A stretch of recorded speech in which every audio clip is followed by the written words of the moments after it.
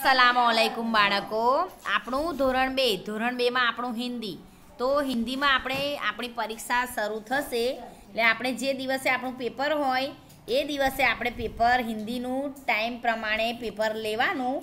અને પેપરને પહેલાં આપણે એકથી પાંચ પ્રશ્ન પેપરમાં આવે છે, એ પ્રશ્નને પહેલાં વાંચવાના અને સમજવાના કે પેપરમાં શું શું પૂછાયું છે. આપણને મેડમે શીખવાડ્યું છે, એ પૂછાયું છે. કે કેવી રીતે પૂછાયું છે પેપરને આખું આપણે સમજવાનું છે.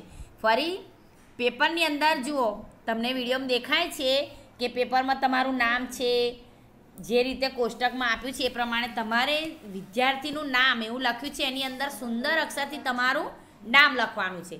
ફરી નીચે જુઓ, પ્રશ્ન એક, તો પ્રશ્ન એક અમાં છે કે ચિત્ર જુઓ, વાંચો અને લખો.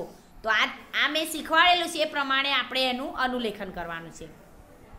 ફરી પ્રશ્ન એક બ, કે ખાનામાં લખેલા અક્ષર જેવો અક્ષર શોધી તેના ફરતે ગોળ કરો. તો ખાનામાં જે મૂળાક્ષર લખ્યો છે, એને લાઇનમાં આપ્યો છે, એ પ્રમાણે શોધીને ગોળ કરવાનું છે. ફરી નીચે આપ્યું છે કે, પ્રશ્ન એક ક ચિત્ર ઓળખી ખાના પૂરો. તો આ ચિત્રને આપણે ચોપડીમાં શીખેલા છે, એટલે ખબર છે કે ખાના કેવી રીતે પૂરવાના. ચિત્ર ઓળખી તેનું ખાનામાં નામ લખવાનું છે. ફરી પ્રશ્ન બે અ તો પ્રશ્ન બે આમાં છે કે તીરની દિશામાં વાંચીને શબ્દ બનાવો. તો આપણે જોવાનું, રાઉન્ડમાં આપણને સ્વર લખેલા છે ને તીર મારીને શબ્દ લખેલા છે. એ તીર પહેલાં આપણે ખાનાની અંદર ઉદાહરણ આપ્યું છે. એ પ્રમાણે જોવાનું, સમજવાનું અને ખાનામાં એ શબ્દો લખવાના છે. ફરી પ્રશ્ન બે બ કે ઉથી શરૂ થતો શબ્દ શોધી ખરું કરો.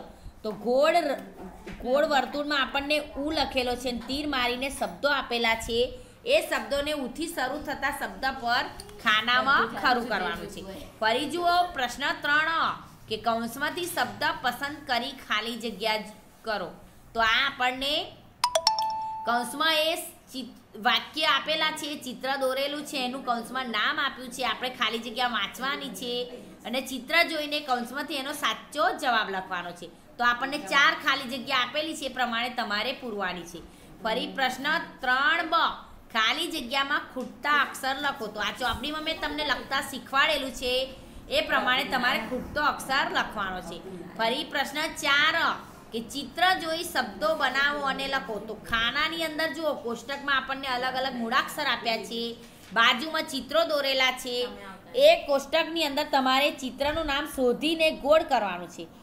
ફરી એ નામને ચિત્રની સામે એની ખાલી જગ્યામાં લખવાનું છે. ફરી પ્રશ્ન ચાર બ, કે ચિત્ર જોઈ શબ્દો બનાવો. તો આ મેં ચોપડીમાં શીખવાડેલું છે, આપણને ચાર ચિત્રો આપેલા છે, એના શબ્દો ખાનાની અંદર લખવાના છે. ચિત્રને ઓળખીને એનું સાચું નામ લખવાનું. ફરી પ્રશ્ન પાંચ, કે સરખા શબ્દોને જોડો, એટલે જોડકા જોડવાના છે, એ આપણે સાચા જોડકા એ જોવાનું અને સાચો જવાબ જોડવાનો છે. ફરી પ્રશ્ન પાંચ બ, કે વાક્યો વાંચો અને સુંદર અક્ષરે લખો. તો આપણને ત્રણ વાક્યો આપેલા છે, એનું અનુલેખન કરવાનું છે તમારે સુંદર અક્ષરથી લખવાનું છે. આ પ્રમાણે આપણું પ્રશ્ન પેપર એકથી પાંચનો પ્રશ્ન પૂરા થયા. મેં તમને સમજૂતી આપી, એ પ્રમાણે તમારે પેપર લખવાનું, સુંદર અક્ષરથી લખવાનું છે ને સમજીને શાંતિથી, સરસ અક્ષરથી લખવાનું બેટા. ચલો અસલામ